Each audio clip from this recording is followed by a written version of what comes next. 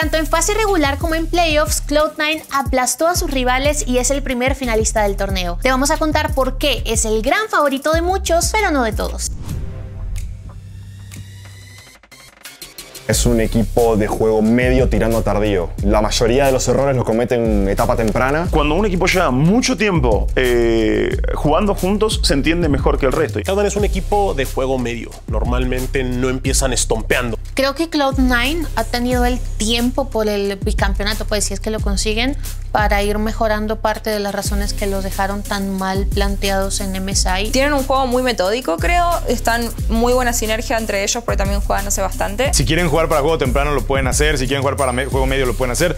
Diría que esos dos son los más fuertes que tienen porque las veces que han perdido ha sido un juego tardío y tratar de apoyarse al que mejor le esté yendo en la partida. Hay partidos donde salen muy fuertes al principio, partidos donde corren los primeros minutos y cometen algún que otro error. MVP de Cloud9 tiene que ser Berserker. Es el mejor jugador de la liga. MNS tiene un muy buen chase en lo que es el carril central. A Maokai con Blaber, aunque no le guste, lo siento, va invicto, creo que no podemos engañar a los números. Creo que toda la gente espera que Cloud9 quede campeón. Así lo pongo. Lo que sea menos Cloud9, yo los quiero ver perder. Este año mi corazón no está con ellos. Es bastante justo, honestamente. Es un equipo que se lo merece. O sea, más allá de cualquier tipo de fanatismo, soy sumamente neutral. De todas maneras, yo soy fanático del espectáculo y del show. Lo único que pido, no importa quién gane, es que lleguemos al quinto juego.